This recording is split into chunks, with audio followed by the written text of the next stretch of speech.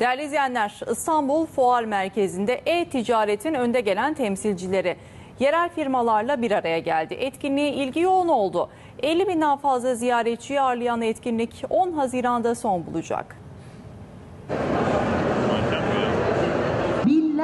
Binlerce işbirliği görüşmesinin yapılacağını öngörüyoruz. Global ve yerel firmalar bir araya geldi, ürettikleri ürün ve hizmetlerini sergiledi. E-ticaretin önde gelenleri sektörün seyri hakkında bilgiler paylaştı. önümüzdeki bu 3 günlük etkinlikte e, totalde 484 tane konuşmacı yer alıyor. Bunun 117 tanesi yabancı. E, 50 binden fazla ziyaretçi var şu anda içeride. İstanbul Fuar Merkezi'nde ziyaretçilerini ağırlayan World E-Commerce Forum'a ilgi büyük oldu. Her şeyin e-ticareti var. Etrafınızda gördüğünüz her şeyin e-ticareti var. Dolayısıyla buraya bu ilginin bu kadar çok artması doğal ve ve olağan.